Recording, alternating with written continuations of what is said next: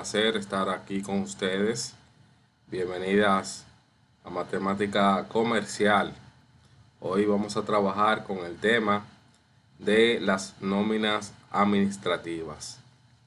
En este tema vamos a conocer cada una de las partes que tiene las nóminas administrativas. Vamos a conocer el porcentaje del seguro familiar de salud. Vamos a conocer lo que es la administradora de, pensiones, que es el AFP. También vamos a conocer la parte de la cooperativa, los impuestos sobre la renta, el total de descuento de cada una de esas partes. Y también vamos a conocer lo que es el sueldo bruto y el sueldo neto de los empleados. Recordando que estas nóminas administrativas la vamos a realizar tanto en el manual y también la vamos a realizar en la hoja de cálculo llamada Excel. Recuerden eso, que lo vamos a realizar de esa forma. Así que nada, jóvenes, vamos a prepararnos para ver este importante tema que le voy a, les traigo en el día de hoy y que se, es de suma importancia para cada una de ustedes, tanto como empleadas como futuras empleadas. En las tareas de la plataforma vamos a trabajar con la semana 6 como había dicho. Y en este tenemos los recursos y actividades. En los recursos tenemos los videos de las explicaciones de las nóminas de salario o nóminas administrativas. Están ahí esos videos explicados. O sea está explicada la clase del día de hoy. No obstante yo lo voy a explicar otra vez. Aquí tenemos la tarea, que son dos, la página 32 y 33 y las nóminas de salario, pero en Excel. O sea, esas nóminas, la página 32 y 33, ustedes también la van a hacer o la van a realizar en Excel. Aquí tenemos la primera, la del manual. La forma manuscrita es lo que usted va a entregar aquí, la página 32 y 33. Le había dicho la semana pasada que pueden primero realizarla en Excel y luego copiar los resultados en, la, en el manual y listo. Así lo hace más rápido. Aquí como ustedes notarán, los mismos requisitos lo tienen que capturar en PDF y realizarla con lápiz. Todo lo que ya ustedes saben. Vale 5 puntos. Y lo único eh, diferente es que esta tarea durará solamente 14 días porque se está acercando el examen final. Por ende, traten de apurarse porque ya todas las tareas van reduciendo el tiempo. Igual la de la próxima semana, la de la página 34, que la pueden ir realizando si le entienden, para que no se le acumule. Esa también va a durar este, una semana. Pero esta, rectifico, va a durar 14 días. Esa es la primera. Aquí está. Aquí tenemos la nómina de salario. Tenemos la teoría y tenemos nuestra nómina. Como ustedes notarán, aquí tenemos el código del empleado, los nombres, y tenemos lo que usted va a completar, que es toda esta parte. También que no se le olvide completar la parte de total que ustedes lo ven aquí abajo. Las fórmulas, por si se le olvida, la tenemos acá abajo, explicada. No obstante, más adelante yo se lo voy a explicar. Esa es la primera nómina a realizar. La segunda, aquí tenemos la segunda que trata o ingresa los impuestos sobre la renta. Aquí hay que completar la nómina completa. Fíjense que está totalmente en blanco. Usted va a localizar lo que son los empleados. Están más arriba, mírenlo ahí, los empleados. Está Gabriel Polanco, Gladys Vargas, Stephanie Vázquez, entre otros. La cédula de, de cada empleado, el sueldo bruto y el cargo. O sea, te da los primeros, cuatro, los primeros cuatro detalles de esta nómina. Mírenlo ahí. El empleado, cédula, cargo y sueldo está más arriba. Todo eso ustedes lo tienen que buscar más arriba. Luego hay que calcular el SFS, el Seguro Familiar de Salud, la AFP, el impuesto sobre la renta, que lo vamos a explicar hoy, deducciones. La parte de otras deducciones, esta se encuentra en esta zona donde dice datos. Otras deducciones son los datos.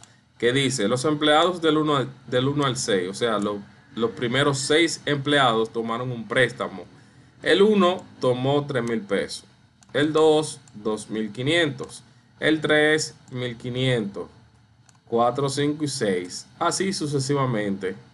Entonces, aquí abajo donde dice otras deducciones, el número 1, 3000, aquí usted viene, coloca 3000. El número 2, aquí está, me lo voy a marcar.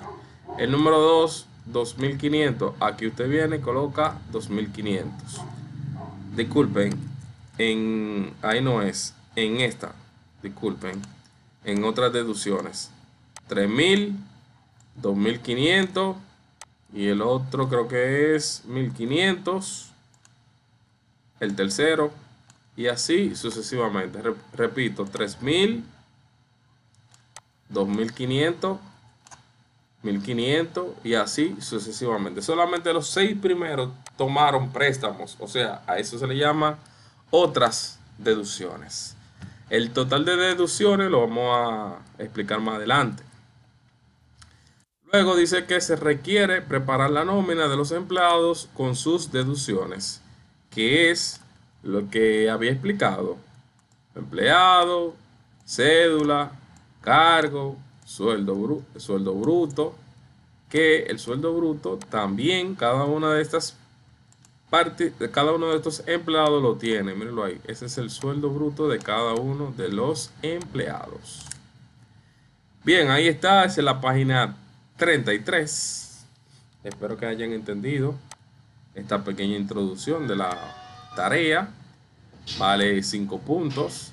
La pueden realizar primero en Excel y luego usted viene acá a la a su manual y solamente le toca transcribir transcribir los resultados. Recuerden que si ya se lo han enseñado, usted obtiene el primer eh, la primera fórmula, ya las demás usted las arrastra y se van a salir automáticamente. Bien, no sé si se lo han enseñado, pero me imagino que lo saben. Bien, entonces pasamos a las preguntas de todo lo que es todo lo que he explicado hasta el momento. Así que si hay alguna pregunta, háganla ahora. Las leo por el chat en la tarea de Excel tenemos los requisitos explicados. No lo había eh, dicho, pero aquí está, miren. En Excel dice que la página 32 y 33, realizarla en el programa de Excel, aplicar todas las fórmulas de cada nómina y celda, no escriban los resultados, realizar las fórmulas aplicar todo título en cada nómina administrativa, el título que dice eh, el manual, aplicar formato y la nómina administrativa, enviarlo, ahí lo dice, enviarlo en formato de Excel, no se aceptan los formatos de imágenes, PDF, Word y PowerPoint. Ese es, tienen que leer, la tarea de nómina de salario de Excel. La de la 32 y 33, que es en el manual, tiene que ser en formato PDF. Más abajo te dice el valor de esta práctica. Te dice los datos de cada nómina de la 32. Miren la fórmula ahí. está también en su en su manual y los datos de las de la nómina número 2 también se lo coloqué ahí aunque está en el manual también se lo coloqué ahí y las fórmulas se lo voy a explicar más adelante aunque algunas son las mismas esta es las nóminas de salario de Excel son diferentes. Explico por última vez. La 32 va en formato PDF y la otra en formato de Excel. Vamos a comenzar entonces nuestro desarrollo de las prácticas 32 y 33. Antes de vamos a definir lo que es una nómina administrativa. En una empresa la nómina es la suma de todos los registros financieros de los sueldos de un empleado, los salarios, las bonificaciones y deducciones.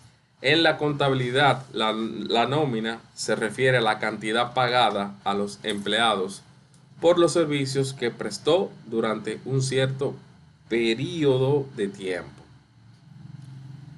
Aquí tenemos nuestra primera nuestras primeras fórmulas, que en todas las nóminas administrativas es lo mismo. Por ejemplo, para ustedes calcular el sueldo bruto siempre y cuando ese empleado cobre por horas trabajadas, se realiza de esta forma. Eso es lo que se le llama sueldo bruto o sueldo base. Horas trabajadas por el pago de las horas. Si yo trabajé 10 horas, me la pagan a 300 pesos, por ejemplo.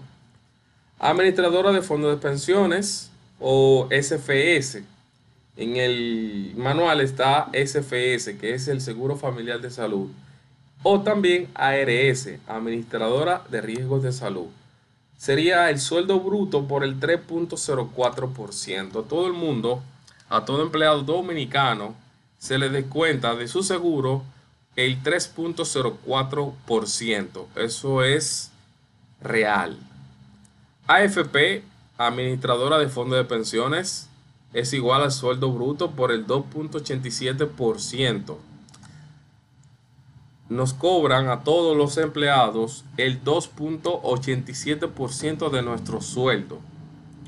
Bien, eso es la administradora de fondos de pensiones que cuando tú, cuando te pensionen, cuando ya tú no puedas trabajar, que tengas 60 o más, este dinero acumulado durante toda tu vida laboral te lo van a ir devolviendo al paso. No es que tú tengas un millón y te lo van a devolver, devolver de una vez, no.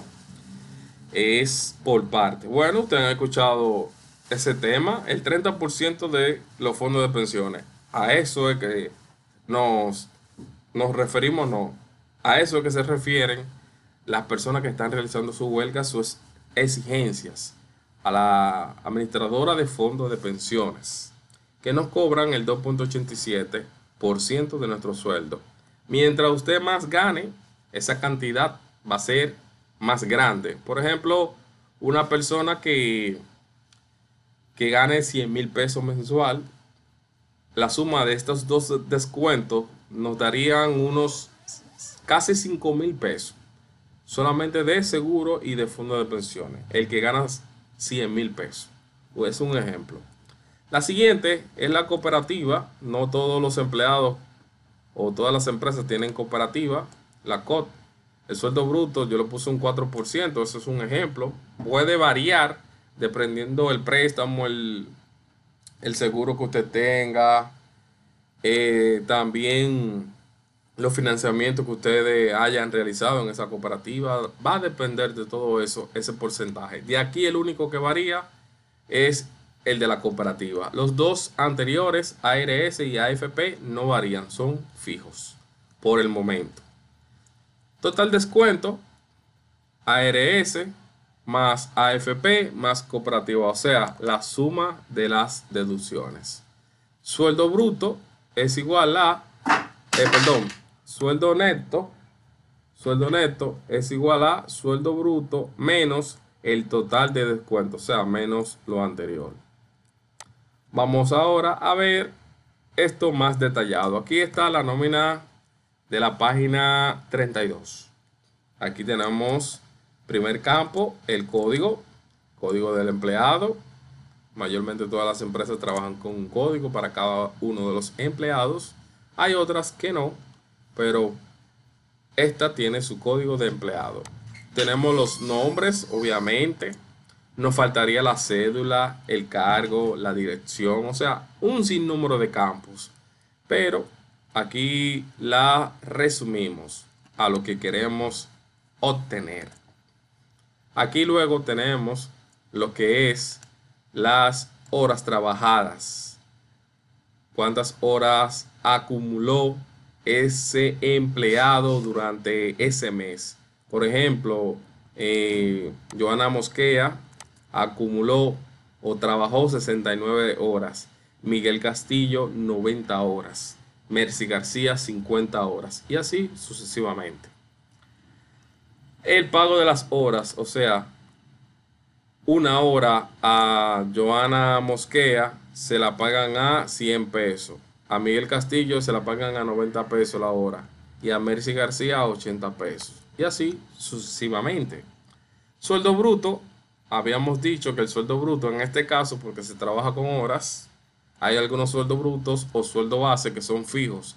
En este caso es pago por hora y se determina de la siguiente forma.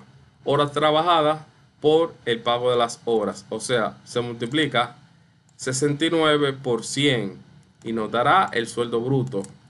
Eso nos da 6.900, me imagino. Ah, ok, mírenlo ahí. 6.900 pesos. Miguel Castillo. 9 por 9 son 81. Me imagino que eso da 8.100 pesos. Y así mismo es 8.100. Luego viene Mercy García, 5 por 8 son 40, 4 mil pesos. Pilar Miguel, 90 por 90, 8100.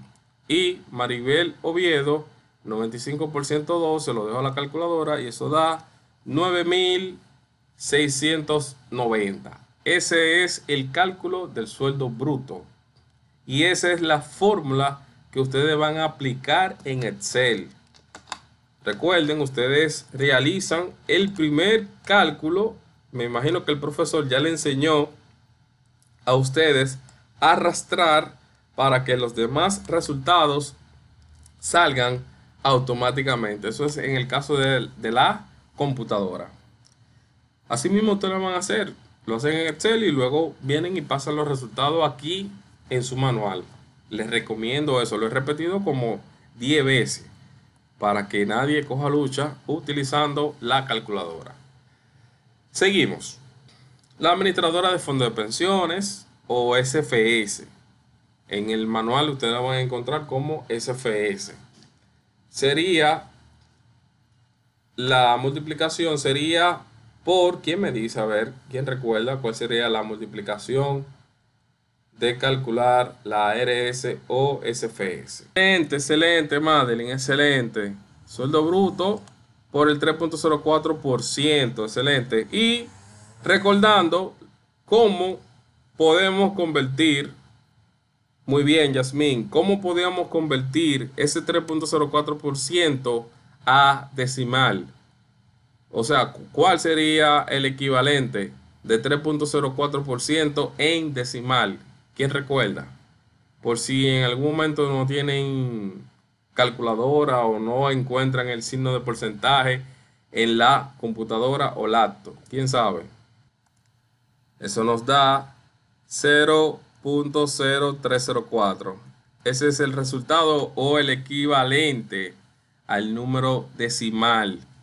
3.04% es lo mismo que 0.0304, es lo mismo.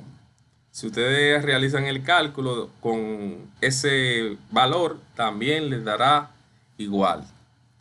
¿Se entiende? Pero que sí, por ese cero que Madeline puso ahí, eh, puede tener problemas en la compañía si ella es la, la contable. Por ese pequeño cero que Madeline le faltó no es tanto la diferencia, estamos hablando de unos 26 pesos por ahí más o menos de diferencia, pero imagínate, con un empleado 26 pesos, pero imagínate que esa empresa sea grande y tenga miles de empleados y diferentes sueldos. Estamos hablando de 50 pesos, 30 pesos de diferencia. Es mucho dinero, aunque no lo vean en uno, no lo vean tan grande, pero en varios es mucho dinero. Muy bien, muy bien. Entonces, vamos a continuar. Dice Grismeldi. Eh, claro, tienen que calcular eso al sueldo bruto. Aquí está. 209.76, como dice Yasmín. Es nuestro primer cálculo. El otro, 8100 por 3.04%, daría 246.24. 4000 por 3.04% da 121.60. Y así sucesivamente. Ahí están los primeros ARS. El AFP, AFP, ¿cuál es el porcentaje de la AFP? Vamos a ver quién me dice. O cuál sería la fórmula de nuestro primer sueldo bruto. ¿Quién me puede decir? Muy bien, Joana. Sueldo bruto es igual a... Sueldo bruto, perdón. AFP es igual a sueldo bruto por 2.87% o 0.0287. Es lo mismo. También puede tomar ese como referencia o el que dice Yasmín. No hay problema con eso. Es lo mismo todo. La cooperativa, continuamos con la cooperativa. ¿Quién me dice la cooperativa? Muy bien, vamos a ver. Yasmín dice que es 198. La AFP, vamos a ver, exacto, pero le faltó unos centavitos ahí, Yasmín. 0.03, también eso afecta a la compañía, no puede faltarle nada, ni un centavo, exacto, así mismo es. Esos centavos después del punto son fundamentales. No pueden redondear, tienen que ponerlo exacto. Bien, no, no hay problema, aquí estamos para eso. Muy bien, Joana, sueldo bruto, la cooperativa. La cooperativa es igual a 4%. Sueldo bruto, eh, la cooperativa es sueldo bruto por el 4% en este ejemplo. Bien, en este ejemplo, 4% o 0 0.04 o como dice Yasmin también es válido. O con el 0.04 muy bien excelente Yasmin así mismo es. 276 da la primera cooperativa. Total descuento. Recuerden que el total descuento sería ARS más AFP más cooperativa. Muy bien, gracias Rizeli, está muy activa. Excelente, excelente, excelente. Se haría la suma, eso haría unos 600 y pico. Ahí está, muy bien, Madeline. 683.78. Excelente, esos centavos no se pueden olvidar, tienen que ponerlo y no lo pueden redondear. Bien, no pueden redondear porque van a tener problemas en un futuro si usted es contable. Al contrario, mejor se lo, deben de quitar porque la empresa no puede perder. Así es que se trabaja en algunas empresas, lamentablemente. Bien, jóvenes, la última, sueldo neto. Es fácil. Muy bien, sueldo bruto menos total de cuento, o sea, 6.900 menos lo que dijo Madeline, 683.78. Y ese es nuestro sueldo neto. Excelente, jóvenes. Muy bien, Madeline. 6.216.22. Ese, eso es lo que va a cobrar Joana Acevedo, creo que es. No recuerdo quién es, pero la primera empleada es lo que va a cobrar. 6.216.22. Bien, porque el empleado no cobra el sueldo base o el sueldo bruto, no. El empleado cobra es el sueldo neto. El sueldo que se le aplican todos los descuentos. Espero que hayan entendido, hayan comprendido este primer tema. Vamos a hacer las preguntas del lugar de nuestra primera nómina de la página 32 hagan sus preguntas para yo poder responderle las que ustedes deseen. Vamos a continuar entonces con nuestra nómina de la página 33 y penúltima. Le había dicho, aquí tenemos todo desordenado. Una empresa, la empresa comercial Polanco, posee los siguientes empleados para que usted elabore una nómina de pago por el mes de abril del año en curso. Los empleados son lo que ustedes ven ahí, la cédula, el sueldo y el cargo. Recuerden que ustedes lo van a ordenar. También había explicado eso. Los empleados del primero al sexto tomaron un préstamo y se le deducen estos precios que ustedes ven ahí. Más adelante lo vamos a ver, ya lo había explicado. Ahí está organizada, ahí está. Los primeros seis empleados son más. Ahí están los primeros seis empleados. La cédula la pueden inventar, no hay problema. La pueden inventar o como ustedes deseen. Y el cargo también está ahí explicado. El sueldo bruto cada uno de ellos lo, posee. El primero 36.800 y ahí están. Cada uno de estos sueldos aparecen como ustedes lo verán en su manual. Ahí está la organización según el lugar de cada uno de los empleados. Continuamos. Ahora vemos el empleado y el sueldo bruto. Aquí está eh, cortada para que ustedes se concentren en el sueldo bruto, en el SFS y, y la AFP. Recuerden, ARS y SFS es lo mismo. Bien, es lo mismo. En este caso estoy utilizando el seguro familiar de salud. Aquí está la, la, la fórmula, la misma de ahorita. Obviamente va a variar porque en este caso el sueldo de este empleado es diferente. El primer SFS, espero que lo hayan ya calculado, no lo estoy viendo, pero el primero es 1118.72.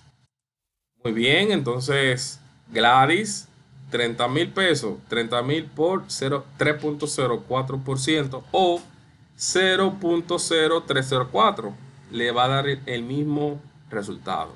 912 pesos. Ven, mientras más usted gana, este descuento va a aumentar. La eh, siguiente, la siguiente es Estefanía Vázquez, gana 20 mil.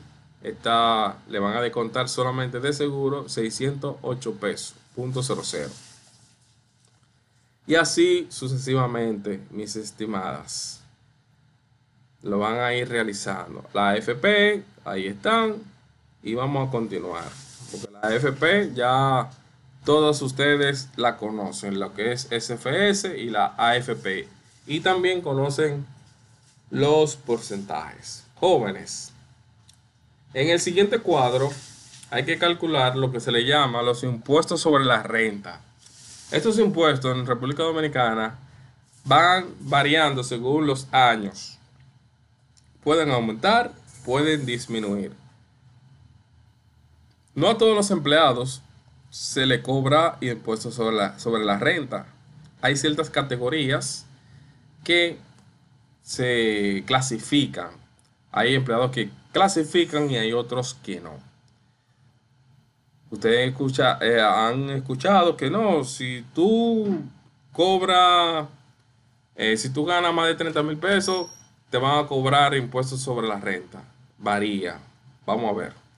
¿Qué es el impuesto sobre la renta? Es el impuesto que graba toda renta, ingreso, utilidad o beneficio obtenido por personas físicas, sociedades y sucesiones indivisas en un periodo fiscal determinado.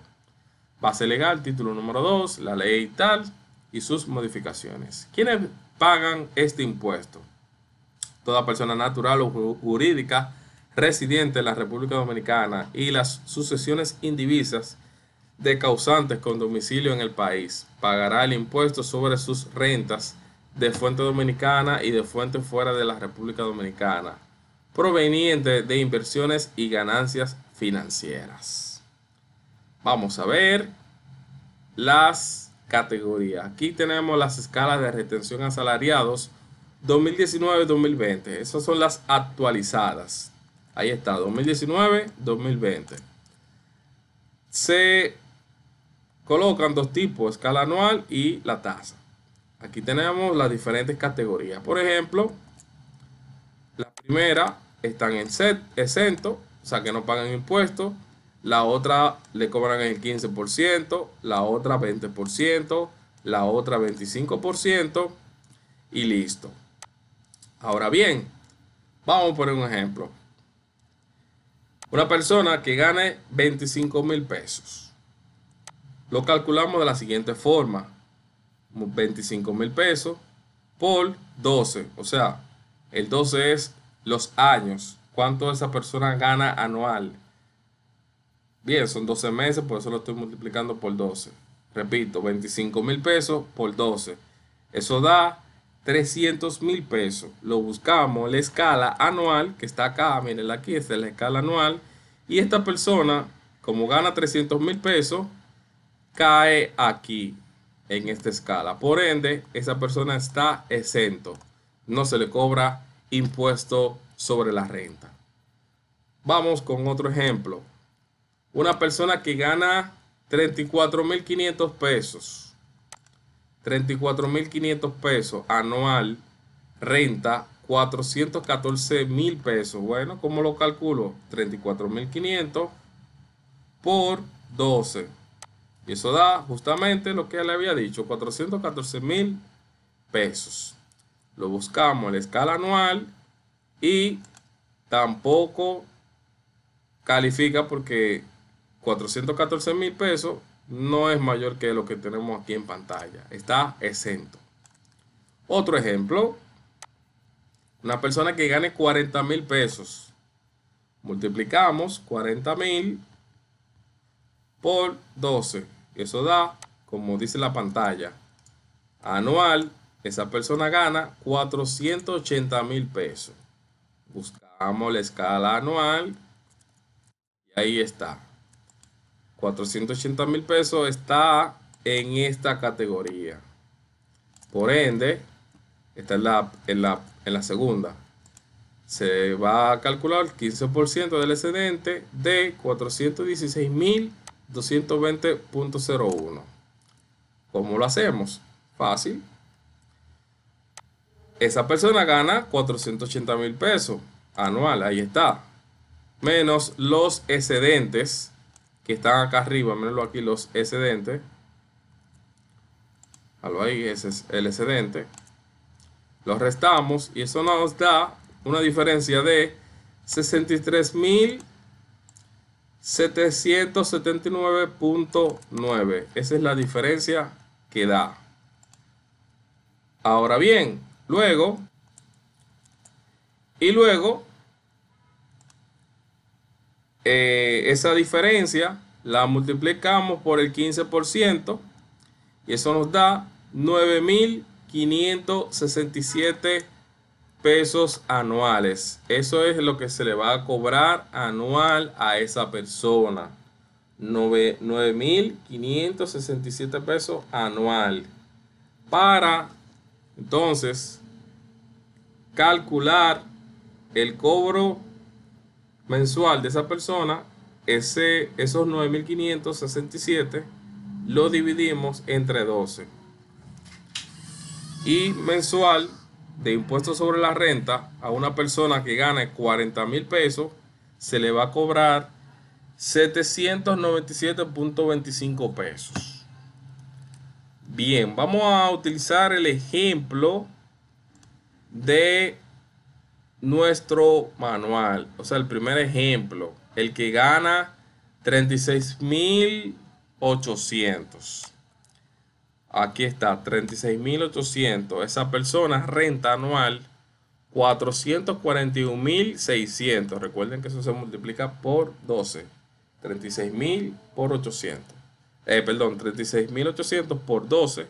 Y nos da este resultado que estoy señalando buscamos en la escala anual Y efectivamente este recae en esta categoría del 15%. Ese resultado lo restamos con el excedente, que va a ser este. Siempre de esta categoría va a ser este excedente para el año 2019 y 2020. La diferencia es 25.380. Ese resultado lo multiplicamos por el 15%.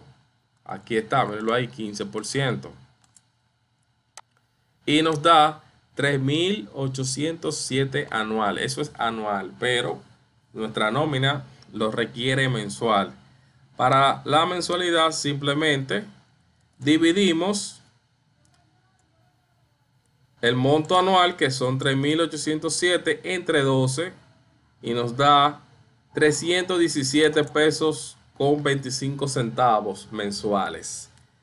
Ese resultado, los 317, usted lo va a colocar en su primera nómina. Ahí está.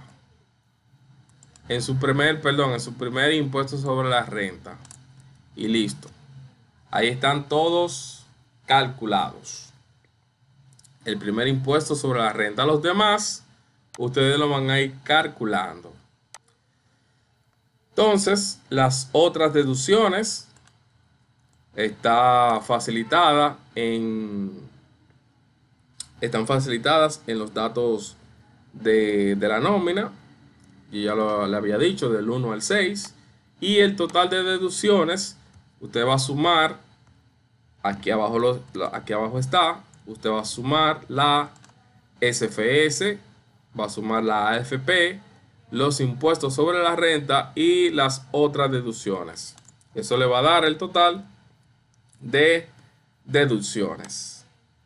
Sueldo neto, lo mismo. Sueldo, sueldo bruto menos total de deducciones.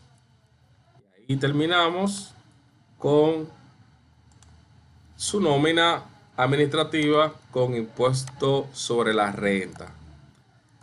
Jóvenes, jóvenes, ustedes, todas estas nóminas en Excel tienen que aplicarle fórmula. Si no le aplican fórmula, no le valdrá 10 puntos. Yo me doy cuenta eh, cuando tiene fórmula y cuando no tiene. Así que les recomiendo que le apliquen las fórmulas. Lo van a realizar en Excel. Ojo con algo. Las personas que no tienen computadoras, diríamos, no sé si el maestro le ha presentado alguna solución, pero sí yo le puedo mostrar una solución para que lo puedan realizar, que no sea utilizando computadora. Las personas que no tienen computadora, las que no tienen, entonces lo que tienen que utilizar, pueden utilizar en su celular la aplicación de Google Drive. Lo voy a escribir, Google Drive. Y en Google Drive le dan a la opción más y le dan a la opción de hoja de cálculo y ahí van a tener un Excel igual que el de la computadora. Y listo. Así lo pueden realizar. Pueden realizar sus prácticas en, la, en el celular. Bien, jóvenes, al parecer no hay más preguntas. Para concluir, les digo que la semana que viene bueno, no antes de decirle lo de la semana que viene.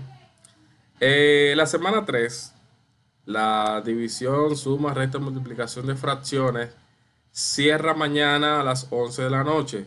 Estoy hablando de la semana 3. Las personas que no han realizado esa práctica, les recuerdo que cierra mañana a las 11 de la noche. La semana 5 cierra el 25 de octubre, semana 6 por igual. Esta semana estamos hablando de después del día del examen. La próxima semana tenemos nuestro último tema, la nómina administrativa con horas extras. Le había dicho que adelante lo pueden escribir en Excel, esa nómina, para cuando yo le explique, ustedes la puedan realizar. Y aquí en esta número, semana número 7, la nómina administrativa con horas extras, ustedes van a realizar la tarea del manual de la página 34 y también van a realizar esa misma nómina en Excel. Así que pueden ir avanzando para que no se la acumule. El examen final es práctico. El examen final es práctico. Eh, lo voy a explicar el próximo sábado con Dios mediante porque les voy a dar una semana para que lo puedan realizar. Solamente son dos nóminas. No les voy a decir cuáles son las dos nóminas. Y eh, no hay necesidad de crearlas, usted solamente va a aplicar las fórmulas que se le pide ahí y listo. Ese es nuestro examen final y vale 20 puntos. Bien jóvenes, eh, ha sido todo por el día de hoy. Un gusto otra vez haber estado con ustedes. Eh, no se preocupen que todo va a salir bien. Apresúrense, adelante sus tareas lo más que puedan. Y feliz sábado, feliz fin de semana y con Dios mediante, nos escuchamos mañana.